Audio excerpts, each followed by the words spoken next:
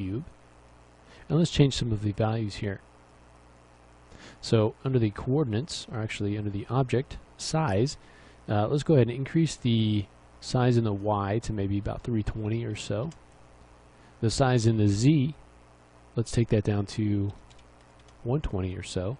Let's add a fillet, and we'll decrease the size of the fillet radius down to something like 8, and we can decrease the size, or, or sorry, the uh, fillet subdivisions to 3.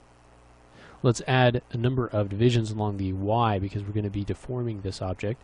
And so let's add maybe 30 segments in the y. And I want the pivot to be at the base. Right now we can't really move that pivot. So what we can do is convert this, make this object editable. And let's now move this up to the base of the, back up to the uh, grid. Let's move the pivot down to the base of this object. And now if we were to go ahead and scale it, it would scale from the base. So here we've got a nice base object that we can clone. Alright, so let's add now a cloner object to our hierarchy. We'll drop the cube into the cloner object, and right now the clone, there are being three clones created. If we take a look at the object properties here in the attributes manager, and the clones are being moved 50 centimeters in the Y. So we want to change that. We want to create a nice long bar so we can see what's happening. So let's change this to be 0 in the Y.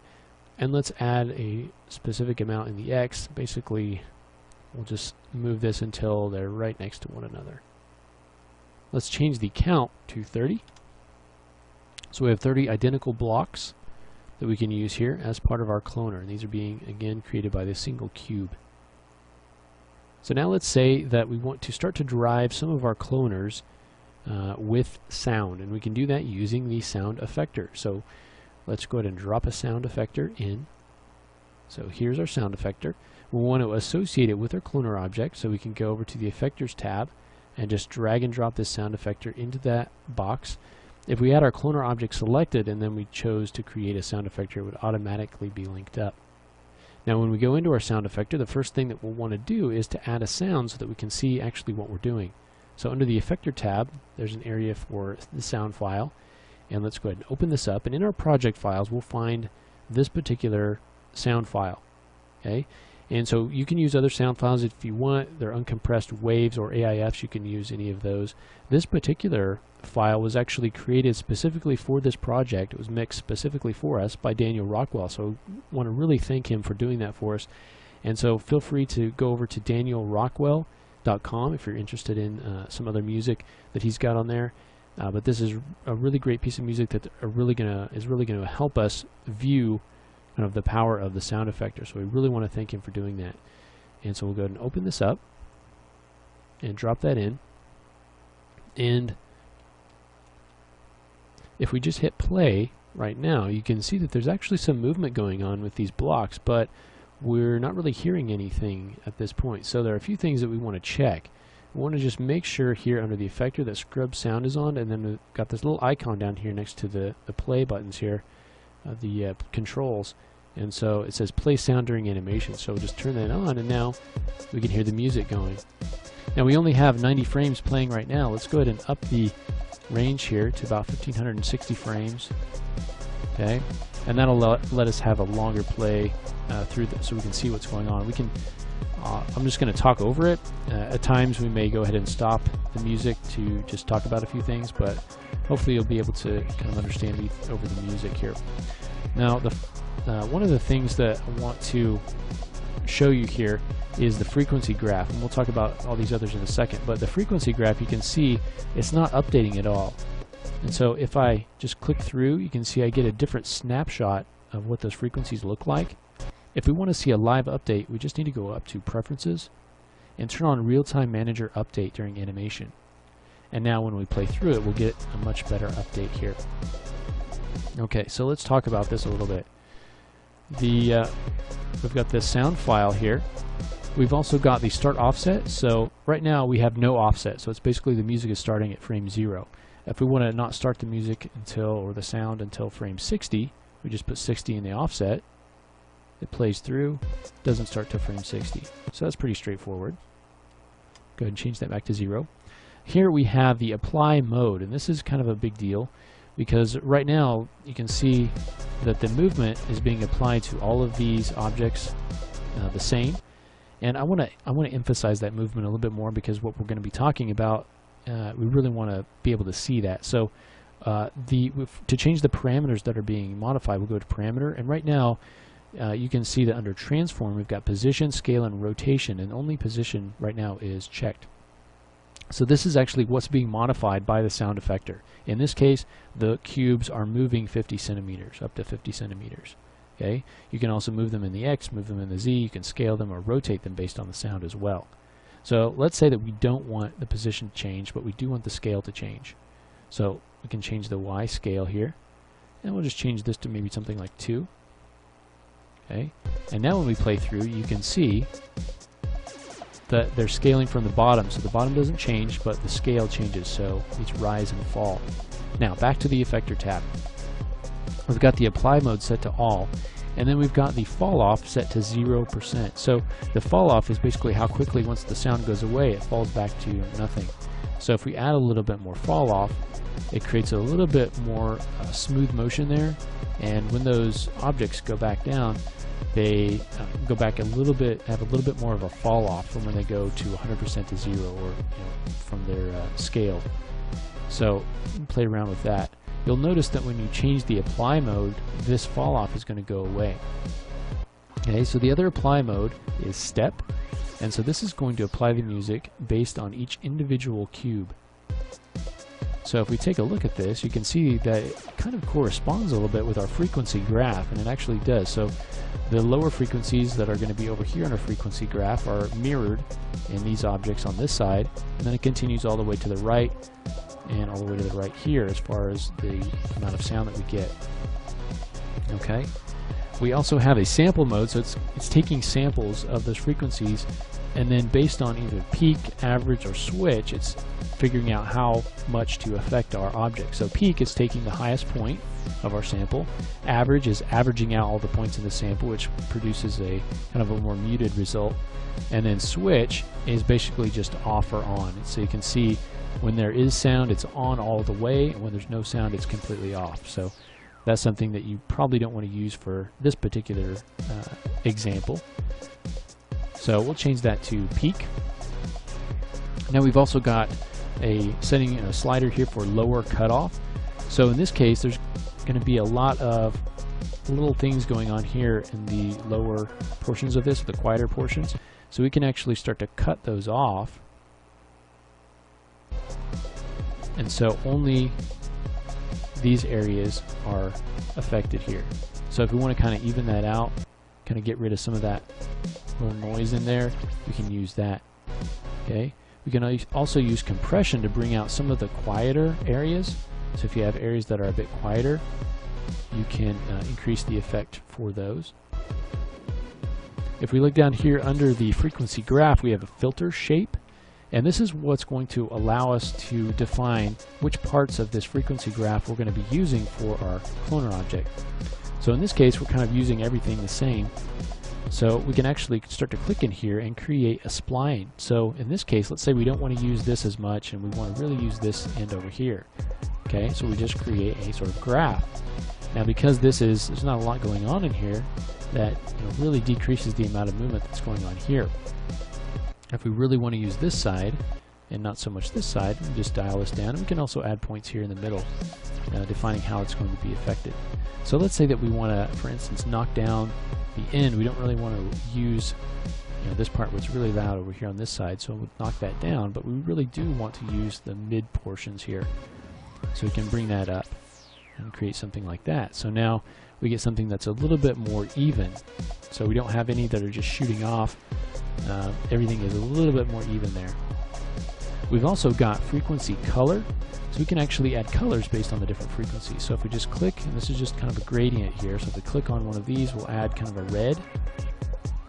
Let's click in the center here and add a green. And then let's maybe add a blue over here. Now right now nothing is happening, so if we go to parameter under color, all we need to do is turn color on, and then it will use that color. We have different blending modes that we can use as well. So you can see even more so now how that's actually associated with that. You can see the red over here to the green to the blue and as it goes to black that's the volume going to nothing. So you can see as all that sound goes away everything turns black. Alright, but you can now see how that's affecting things. Now it's being muted here, the, the filter shape is muting it, the effect here on this side. If we go ahead and take that up you can see that would be high there again like that. But we just want to kind of bring that down a little bit. Alright, so you can use color, and then you can go into the parameters and you can decide what kind of parameters you want to use. If you want to use rotation, you can see how we can rotate it like that. So it's modifying it based on the, the rotation, we can rotate it this way. So there's lots of fun stuff that you can do here with your sound effector. We'll do some specific things as we go on with the rest of this project. Alright, so once we get it, uh, just play around with it, get it to this point basically, and uh, playing with some of the sound effector basics that we have in the effector and parameter tab. Okay, the use filter option we'll look at a little bit later, and it's just another method for kind of defining exactly what portion of this frequency graph we want to use for our object. So uh, we'll look at that a little bit later. But now that we've got it to this point, in the next lesson, let's start to change things up a little bit by using what we've got here and just changing the shape a little bit, making a little bit more of an interesting shape using some deformers, and also adding a little bit of random color and uh, movement to our objects. So we'll look at how we can do. We have a nice bar here, but let's say that we want to create more of uh, an elaborate project with some different types of objects in here. So this is going to be the first part of our project, and we want to make kind of a bowl shape out of this, let's say. So I'm going to take the cloner, and let me turn this off for a second. We'll take the cloner, and right now it's using a linear mode, and so I'm going to just change this to a radial mode, okay? And then want them to be kind of standing up all in a ring. So I'm going to change the plane to the XZ plane, okay? Now they're right on top of each other, so I'm going to change this radius, pull this radius out. Right now we only have 5 here, so I'm going to change the count to 30. So we get a nice ring. Alright, and right now we're out at 1,000 centimeters. Let's maybe take this up a bit to 1,700 or so. So we get something like that. And again, we can play through this and get the same appearance, it's just in a different configuration here. So you can see that we still have the start and end, but now they're just in this sort of radial shape. Okay, so let's say we want to add a little bit of shape now to this. So maybe deform it into kind of a curved shape, but we want to maintain the scaling of this kind of going along and we want it to follow along the new curve that we have for it. So we can use a uh, deformer to do this. So let's go ahead and drop in first a taper. Okay, and for this to work, I want to put it on the same level as our cloner object. So I'm going to uh, go ahead and click on the cloner, right click, and go to Group Objects. You can also hit Alt G. Okay, so now we have a null, and then we have the cloner underneath with the cube underneath the cloner. So we'll take the taper and put it right under the null at the same level as the cloner. Okay, so we'll go ahead and change the, I'm going to change the size of this. So about 1700, 22, 25, and then be about 1700 or so. Okay, let's go ahead and raise the strength of this. Now you can see it's tapering it up from the top down. So I'm going to go ahead and rotate this in the bank 180 degrees. And let's go ahead and take this taper and I want to just move it up so that we get something like this. So something close to that. Alright, and you can see here that even though these are now tapered down, when we go ahead and play through, it's actually still working like it should, taking into account that taper. So that's kind of cool. We can make a little bit more of a curve here if we add a spherify, and let's drop this underneath the taper. Okay, and we'll go to Object, maybe make this sphere a bit larger.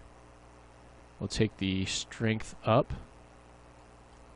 Okay, and let's move this up here. So we end up with is a little bit more of a kind of bowl shape. And then again, we play through this. and all those bars are following along with that curved shape. So you can create some really interesting effects and shapes here uh, using these deformers in our hierarchy. Alright, so right now, all of the motion of this is being driven by our sound effector. Now let's say that we want to add a little bit of random motion to this. Well, what we can do is use a random effector in combination with our sound effector. So with our cloner object selected, let's go to MoGraph. Let's select a random effector. That's going to automatically drop in that random effector. And already you can see that a lot of these have been moved around. And so what's happened is we've we've randomized the position of some of these, and then uh, the sound is actually driving the, the movement.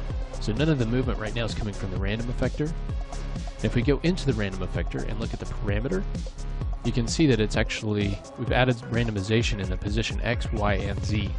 So if we go look around here, they're actually going to be off center a little bit. So if we take away the X and the Z values here, then they're only going to be moved up and down, and we can see this if we go ahead and change those values. Alright. So if we want to actually add some uh, movement in here, you can add scale or rotation uh, to this, but if we actually want to want this to move, we'll go to Effector, and under the random mode, let's choose Noise. Okay, and then we'll go into the parameters and choose what we want to affect. So we want to affect maybe the the Y movement, and now those are actually moving instead of staying in one spot. Let's go ahead and dial this down a little bit. And on the scale, let's go ahead and add some scale to this as well in the Y. And so we can kind of randomize that as well. And so that just kind of breaks things up a little bit, and might want to dial it down a little.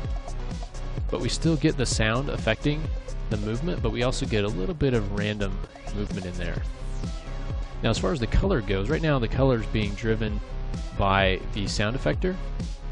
So if we go down to the effector tab, you can see all of those colors that we added in there.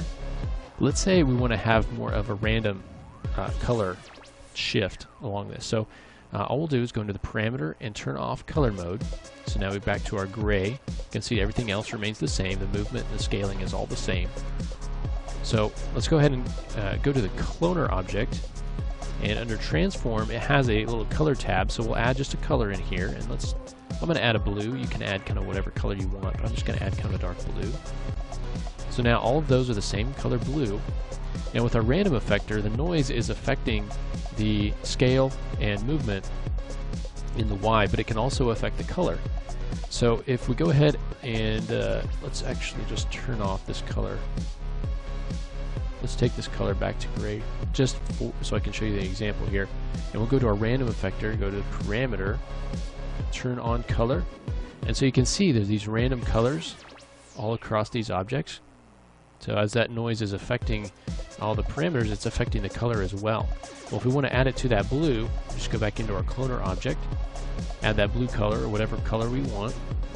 Okay, and then we go back to our random effector and change our blending mode can change that to add, and it'll add those colors to our blue color. And then we can go back in here if we want to maybe brighten it up a little bit.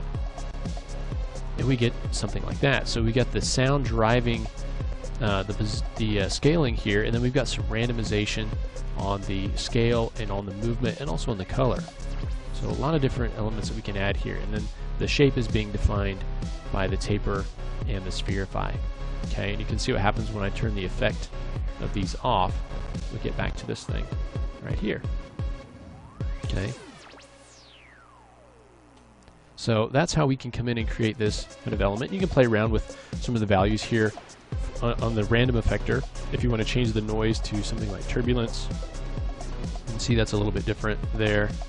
We also have uh, animation speed in here, more of a slow moving wave there.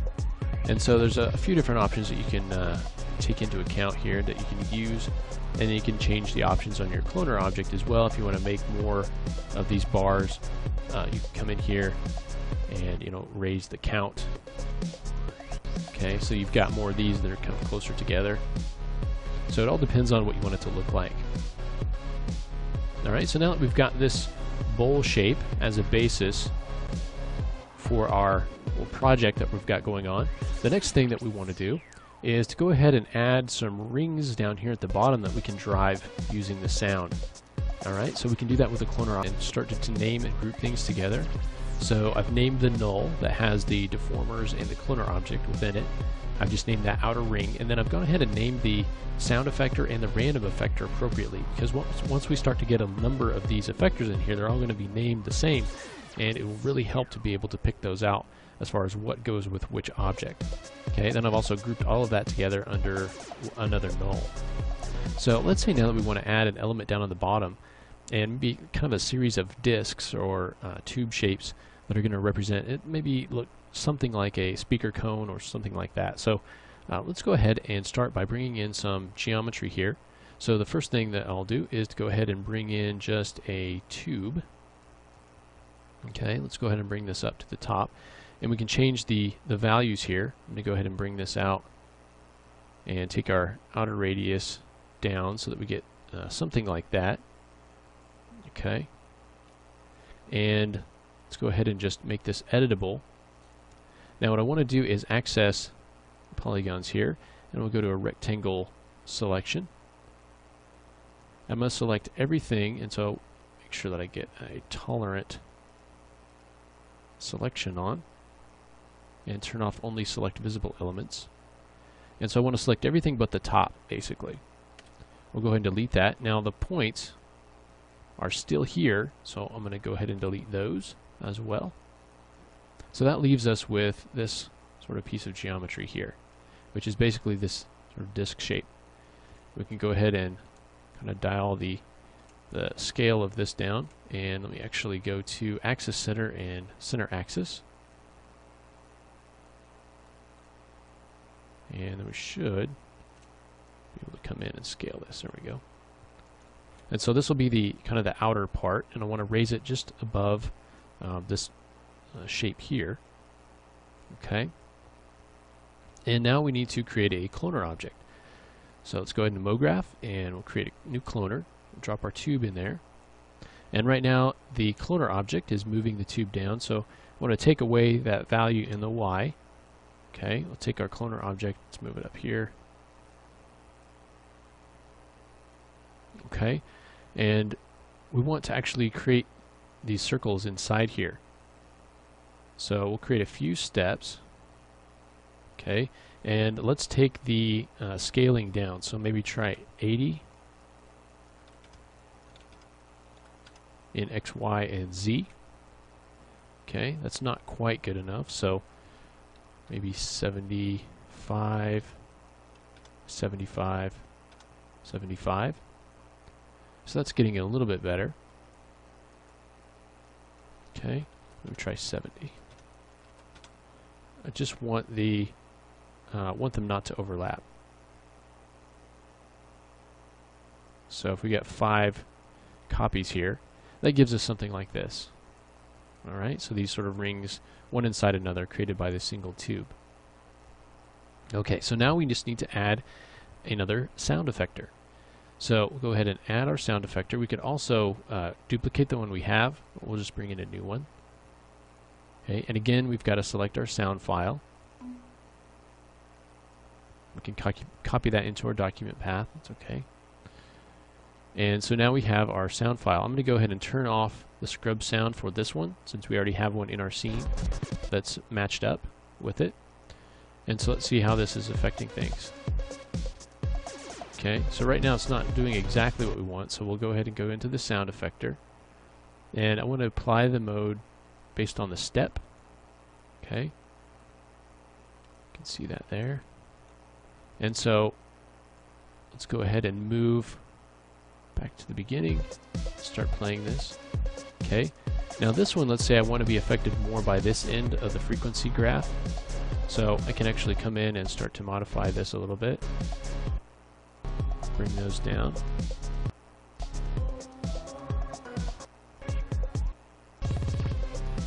something like that. Okay, let's go into the parameters and we can change the value. We can take down our value here in Y. Okay, if we want to add any rotation, we can do that.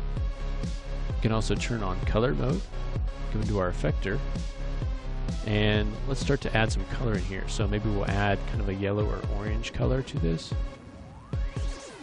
In here. And so we can see as, we play through this, this is going to be lighter out here. If we want to reverse this, we go ahead and uh, bring this out here and then add this kind of whiter yellow over here. Now that makes it darker in the center. So that center point is actually using uh, this part. Okay. can bump that up if we want to. We want to add a little bit of scale, we can use a uniform scale if we want to just affect the scale generally rather than in a specific axis. So we can make it grow a bit. Okay. I think for the color, I'm going to get maybe a lighter orange. Maybe something like that. And then get kind of a darker orange over here. So just play around with the colors that you've got here, but you're now moving and scaling these rings based on the sound that we've got. And we're using a different sound effector, so we'll go ahead and name uh, name this one uh, cone sound effector. We've got the cloner object here, so we'll select both of these and let's go ahead and group those together. Cone group, we'll call that. And you can play around with different pieces of geometry if you want to. Okay. So that gives us kind of a, little bit of a kind of a pulsing speaker cone down there at the bottom, and you can play with the values that you've got. The uh, next thing that we want to do is to go ahead and build a sort of center sphere that's really going to pulse to the beat uh, in the middle. So let's go ahead to use here, and I want this sphere to be kind of the the driving beat here in our project. So I'll just bring in a sphere and let's actually bring in a cloner object. And even though we only want one sphere, I'm going to drop the cloner in and let's take that count down to 1. Alright, let me take away the Y value there and go ahead and move this up into the center. We can change the values of our sphere, so let's take the radius way down and let's start it maybe about 30 centimeters, and we can make modifications to that, but we'll go ahead and leave it uh, there. And if we take a look here, I'm going to leave the resolution the way it is. Um, we can always change that later. So with this cloner object, you can go ahead now and again add a sound effector. So add a new sound effector to the mix. And let's call this central sphere sound effector. We'll go ahead and add our sound file. Alright, and let's make sure that I turn off, I'm to turn off the scrubbing. So we'll just use one to listen to.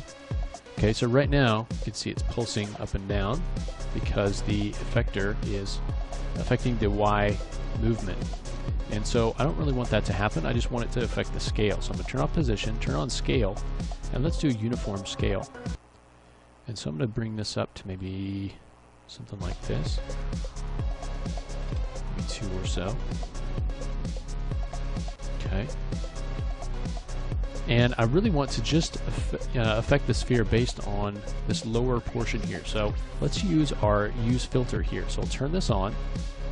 And so you can kind of see this little line right in here. That's going to be the frequency that we're going to be affecting. So as we move this, you can see that that's actually changing that line, where that line is. So I'm going to drag this all the way to the end. Okay, right down here. And I'm actually going to take that all the way down. And let's just change the bandwidth. So this is changing the width of the area that we're using to drive the sphere. So I just want to use those lower portions of that beat. So uh, I can go ahead and make this a little bit smaller.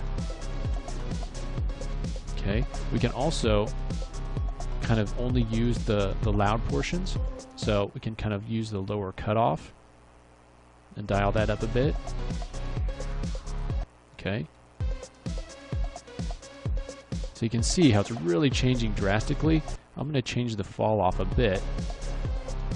Let's go back and look at that. So that's pretty strong. I'm going to actually take change the lower cutoff dial that down just a little bit. I don't want to have a lot of fall off. I want this to be pretty severe as far as the, uh, you know, how it's pulsing here. All right. So that gives us that. We can also change the color. So in our effector, go down to the frequency color. Now this is going to be a little bit more difficult because we're just working with these frequencies right in here. So if I go ahead and change this to maybe an orange color and turn on color mode, so you can see that that's orange now. It's going to be pretty difficult to come in and add an additional color in here. We can go ahead and try that. Maybe make that a lighter orange there. So we want to get them really close together. So you can see it's kind of pulsing there.